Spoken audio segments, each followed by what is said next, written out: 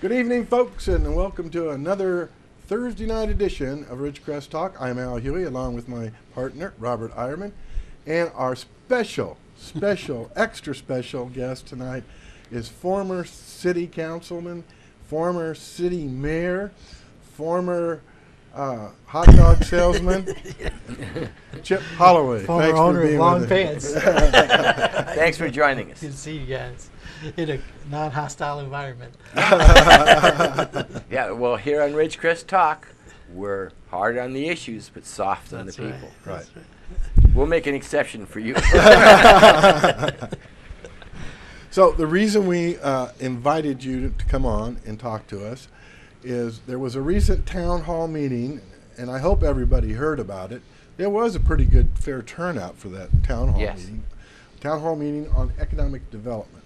We had a lot of uh, movers and shakers there, business people and entrepreneurs in town, and uh, a lot of private citizens who were just interested in the betterment of the city. Uh, you being one of them. Uh, we had, uh, what is his name, Stu Witt? Stu Witt. yes, Uh, he was there. The individual developed the Antelope Valley uh, Airport. Mojave where Spaceport. The, Mojave Spaceport. or Mojave Spaceport, where the plane flew around the world without uh, refueling. Uh, uh, very interesting what he had to say. But we wanted to talk about what you had to say that night uh, in particular. And then I guess there was a follow up meeting from that, what, this last Monday? Monday night. Yep. Okay. So share with us what you uh, shared with the people at that meeting, if you could. Well, I thought, based on efforts in the last 16 years, 20 years really, that I've been in Ridgecrest, um, that was a well-attended meeting Mm-hmm. uh, compared to some of the meetings you guys have tried to be involved in meetings where we can't get any energy in the community. And um, I thought the meeting was well well attended, and it was a a different group of people. Um, the format was was pretty good, and it, it didn't become a complaining session. And you know, Except why, for why, when why. I got up and talked. right, you, you were the lightning rod actually for change. Imagine that. But uh, but the um, you know, one of my frustrations was people in this town have uh, institutional memory of, of specific things and, and they grow many times have a life of their own. Mhm. And, and the, the one issue that I brought up that particular night was to a comment about the city doing proper due diligence or, and, and not uh, having so many failed attempts at economic development. Mhm. It's not the first meeting we've had on economic development since I've been here. Right, and and the only reason I ever ran for city council was to do economic development. I had just moved to Ridgecrest in 1992, and and I think we were still original hamburger stand when I got on the chamber, and ultimately converted to Wiener Schnitzel. And I, you know, I came to Ridgecrest to grow and and and uh, profit and prosper, and um, the town was kind of in the in the doldrums at that time, and I was in the chamber executive board, and the uh, uh, prison issue had come to to the forefront, and I wasn't really that involved in local politics at the time. But one thing I did f- realize quickly is that many chamber board members were threatened by residents of this community that if they supported the prison without any investigation, they would be boycotted, and I found that offensive. Uh, because uh, when, when my first campaign slogan ever was to condemn opportunity without investigation is the height of stupidity, which is a quote Yes. He comes up with these good ones all the time. yeah, you just ought to call his cell phone sometimes. Yeah. It's a new message every time. and and that's kind of how I lived my life. And I felt like on the prison issue, it never was really investigated. It was just no, we don't want it. No thanks, get out. See you next, you know. And anyway, so my point of that meeting was: in 16 years I've been on the council, I ran, hopefully to impact economic development. We had one major effort, if you discount the last effort that's ongoing that I was involved in the last year, the four investments we Right. made from the TAB fund, and that was Matrix Motors. And Matrix Motors What is about uh, back porch? Front Porch was before Front I was on the council. Oh, okay. Front Porch came about 1996, and it was probably wrapped up about now. Personally, outside of council, I was involved in Front Porch as an investor and lost about twenty five thousand dollars. But um, that never lost the city any money. The history of Front Porch was they got the building for one dollar as a gift, and the city never invested a dime in front porch. So that shouldn't even be held up as a failed city Right, right. economic development. Matrix, on the other hand, uh, was a failure, but frankly, I can tell you uh, now that both council members involved in this decision are no longer in town for different reasons, as Matrix could have been a success. At the very end of that project, when they tried, we tried to do basically avert the lawsuit uh, because of a council vote. We chose a path to pursue a lawsuit instead of a path that I think would have maintained at least Matrix the opportunity to be successful in Ridgecrest. And for the people who don't know, at the very end of you know, Matrix came here. One of their failures was they were going to bring a windshield manufacturing business Right. along with the race car business. Right. The windshield manufacturing business was the cash cow. Mm-hmm. But for whatever reason, that portion of the business didn't come with them, and they tried to to make it a make it a go with just the uh, race car. Also, to the city's uh, discredit, the economic development manager we had at that time had promised Matrix to build them an eight million dollar facility in the new business park before doing any due diligence on his on Matrix. And of course, the council had approved that, right? Right. When when he got here, they abandoned that because Matrix's financials couldn't support the debt service without the windshield part of the business. Ah, okay. so the cash so it wasn't really anybody's fault per se, but there was reasons why the, the business plan fell apart. But my point of that was not to justify Matrix. It was the fact that that's really the only massive economic development effort we took on. We did small attempts at economic development. We never did a major attempt at economic development. And frankly, even that failure was not a general fund failure. That was from redevelopment funds, which had to be used for attempts like that, just like the TAB funds are now. Um, if every one of those TAB fund projects go ar- awry, Yeah. it didn't cost the Ridgecrest taxpayers a dime. None of that money, that's found money that came through the redevelopment agency that would have went to another community somewhere in California if we didn't make those attempts. So it's it's always confusing. You guys are well versed in the city budget and financing, but most people don't realize about the little pots of money. But to me, the biggest failure, as I said that night, was we should be doing more in the, on the economic development front and making more attempts at economic. But again, it's even harder now given how thin city staff is. Uh, it's a combination of staff and the and the fact that redevelopment funds are gone. Got to go to break. That's the biggest problem. Got to go to break. Uh, join us on the other side of the break with Chip Holloway.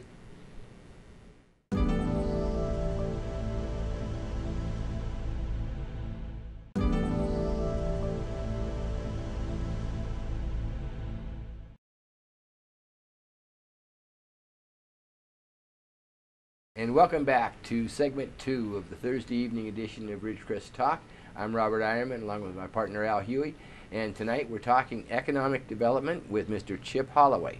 Did you have a question Yeah, I. I was brought up on the break real quick that uh, when a new business startup, they need to borrow money for to get the business up and going.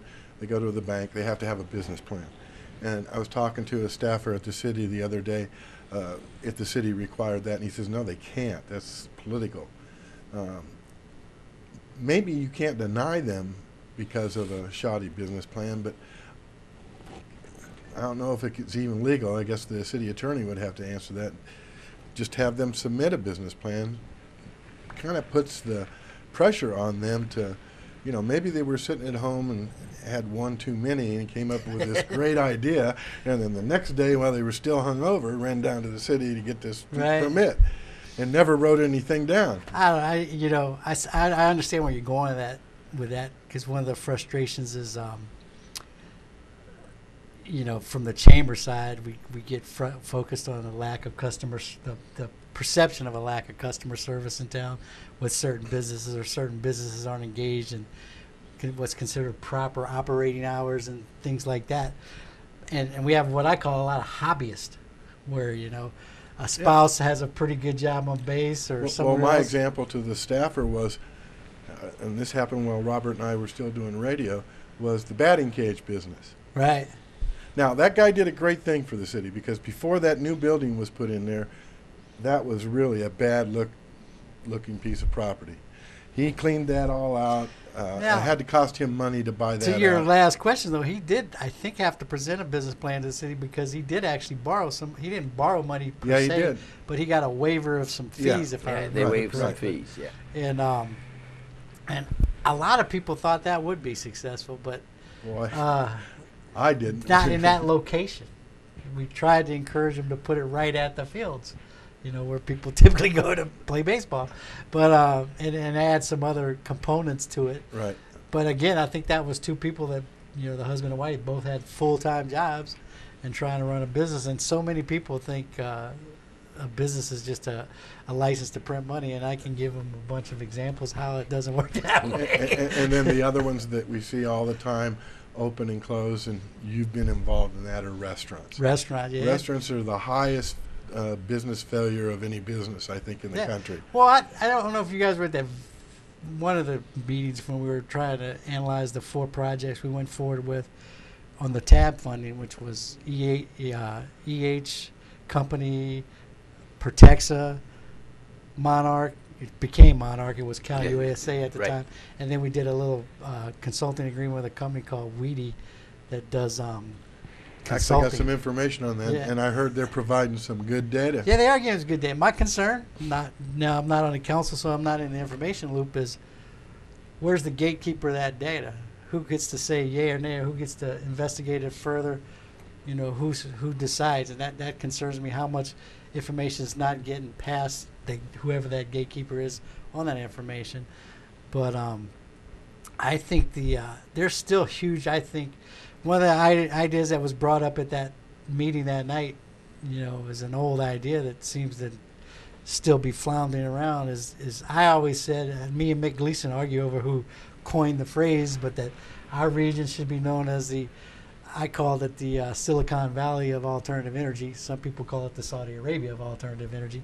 I've added the term alternative energy and technologies because there's more than just Mhm. alternative Mhm. energy that we fit for. We we have a niche on biofuels that they're already working in on base.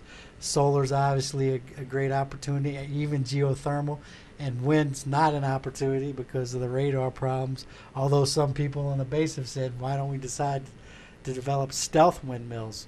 You know, with stealth technology, because that's what they do on base. You know, so you know they're creative people on the You're base. talking about those fans I see on uh, TV where there's no blade. yeah. Is that what it is? I don't know what it is. Just so because the big problem with wind is it it, it gives uh, echoes on the radar ranges Yeah, that yeah, screw yeah. You yeah. should know that. Yeah. yeah. So, Big- uh, but we have a huge opportunity Springs. in that, and, and uh, one of my uh, things that I've always pursued since back in 2008 because I read a front page article in Forbes magazine, and it's only getting more and more uh, notoriety is data storage, and you know the cloud now is basically million square foot buildings full of computer servers. Well, we need that high-speed uh, internet. Man, we've got digital 395 here, which is the biggest problem most communities have is they don't have that backbone. We have the backbone. How do we get hooked onto it? That's I'm on another committee, and that's a committee that that was already in place before this committee. Is it, it was a broadband committee that came out of a little ad hoc committee that the mayor put together just to, to she called it I think the the hundred days to success plan or whatever. And we were looking at some opportunities for the community, but broadband capability is going to be a not a nice to have. It's going to be an absolute requirement Right. with the Internet of Things. You're not going to be able to do anything in your house without internet capability. And we went two years ago. I was talking about a plan to give everybody in Ridgecrest uh, internet access through their property tax bill, 100% penetration, and we were talking about a six megabyte download Wow. speed. That's obsolete already. Now Yeah. they're talking about you need to be at 100. I mean, the average house has five uh, internet enabled devices attached to their Wi-Fi system. All your TVs are now digital, Mm-hmm. but but we've got that backbone. That's a huge asset. So we're trying to figure out a way to get people, you know, Who, who depending on that? where you at.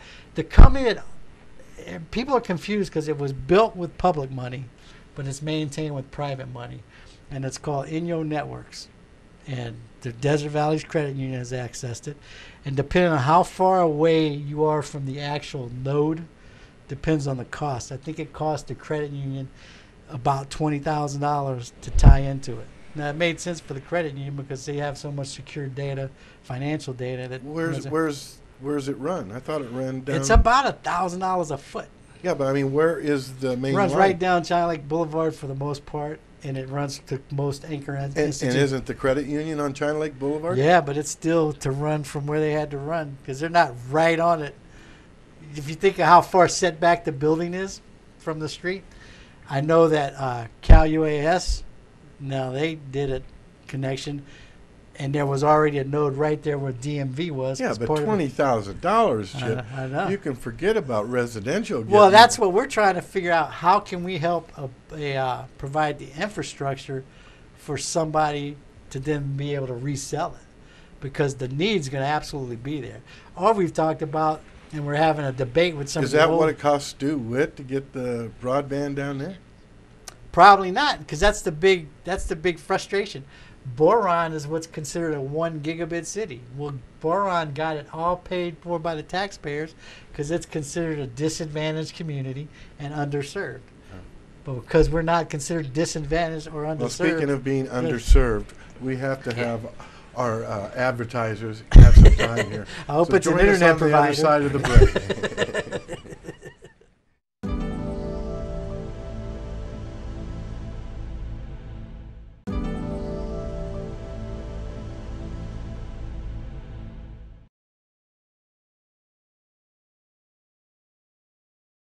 Welcome back to uh, Ridgecrest Talk. We're here with Chip Holloway. We're talking about economic development. We were talking about uh, uh, uh, broadband. Uh, what is it? Something 395 account. Digital 395. Digital Digital 395. Uh, senior Now, moment. you ask how do you get on there? We are developing a website because there are people that are very knowledgeable in this community about Wi-Fi access and broadband, and, and business owners that I was in a committee meeting that's an outshoot of the economic development group, and some of those folks didn't even know. But It, it, it, it's got to be done, and, and it can be done economically. We, we need somebody. I remember you were here when Howard Auld brought the idea of bringing internet to Ridgecrest. and boy, he put his nose to the stone, and he got it done. right, well, you know, Cedric Knight created uh, RidgeNet, Yeah. which have ultimately sold to MediaCom. And then you still have a, a local provider, IW Indian Wells Valley ISP. You can still get that and MediaCom and Verizon, or I guess the All I'm saying is it can be done, and It it, comes it's not going to cost twenty thousand dollars. Well, that's for the main trunks for these big corporations that, that need it. But somebody, it's called, you've heard the last mile. That's the, the cost factor is the last mile. But Well, let's talk again, going back to that uh, town hall meeting where we had all these people. And uh, what came out of that meeting, if you weren't there, was uh, they decided to develop a committee out of it of those who wanted to volunteer and help with economic development with the city. And uh, they came up with a list. I, I know you can see that, but uh, there's a group of, uh, looks like maybe uh, a couple dozen people, something like that. yeah, we, we had and about and 100 they broke people that at the up first meeting. into, huh? Had about 100 people at the first meeting. Yes. Yeah, yeah. And now 20 at the follow-up meeting. So. Uh, they broke that meeting up, which was held this last Monday night, into seven committees, and then you told me there's committees under those committees. there's there's little there's some issues within those committees that the chairman of each committee will have the opportunity to create like subcommittees on uh, and basically the way that came af- about is I don't know if you saw the the list that Cedric Knight tried to con- right, take the all pros those and the things, cons. Yeah. and he tried to compose those in different Did categories. a pretty good and job. And some of them overlap, and that's why they didn't fit into nice li- niches in each committee. At that Yeah. meeting, i- i- if you said something and then somebody uh, op- opposed it, then you'd have to pay five dollars to get up and oppose the person. Well, I brought up at the Well, meeting. let me get my wallet out here Yeah. because I want to. I brought up at the Well- meeting, like I said, there are a lot of people there, but the number one employer wasn't there, which was the base. Uh, nobody representing the base was there. I guess somebody heard me I was going to tell you. because we have a representative from the base now on on that A committee. representative from the base showed up for that very reason, so your your effort was warranted. Uh, and, Peggy and showed. Mr. I won't mention the name, but there was an individual at that meeting who said, "Oh, they can't come. They can't attend those meetings. They can't talk well, they about said it." they will be. They weren't invited. They can't go out unless they're invited. And the mayor purposely didn't reach out to individuals because she wanted to get people who had some t- sort of initiative and truly were interested. And uh, and so this individual from the base is going to take the committees back to the higher ups at base. So who invited them to speak at the public lands Yeah. issue? Where'd they Land get I the agree with you invitation 100%. on that I agree with you 100%. Yeah, That's right. the first thing I Yeah. thought of. Uh, no, that that was a sour note with me, and I might talk about that some more down the road, maybe, possibly. Uh, uh, you could bet on it. But uh, so now it's up and running. We've got these committees going. Uh, Mayor gave us five weeks. come back with some data. well, no, okay, I, that's good That's because I was. I was going to say, you know, this typical bureaucratic Right, BS yeah. approach. I was going to say, this is your target is 2025, right? No. Yeah. five weeks, and uh, I think that's ambitious, but at least it'll get us to weed through stuff faster. Because you got a town of deep thinkers that can think for Yeah. a long time on certain So- Well, issues. nobody so- wants to spend their life doing In economic a development. committee, you yeah. know? Let's get it done. That's what I'm saying. And I think the biggest failure, and, and I'm going to bring it up in this committee, and, and I don't know if you guys will agree with me, is I don't think we've done it, and, and this is a failure as, as a council member, former council member, I think that we've always had, is that we've never done a good enough job of really illustrating the problem to the public if we don't continue to grow. And there's people in this community that would like to see us not grow. I can see the problem right now. I can see the right. Just go down to City Hall and you'll see all these empty offices. Right? They don't have the money. They don't have the budget. No, and, and I keep I don't know how they're doing the streets. If, if Measure the, L uh, goes away, oh, they're in gone. deep trouble. if even if Measure L stays, I did an analysis. I was the only person from the public that was at the, the budget meetings, and I was doing some math while I was in there watching the budget meetings, and based, you know, about eighty percent of our city budget's payroll, the general fund budget, and if you're looking at two and a half percent increase in those costs, we have to raise two and a half million dollars in the next ten years. If you look at the past ten years, I heard. we're trending down, not up.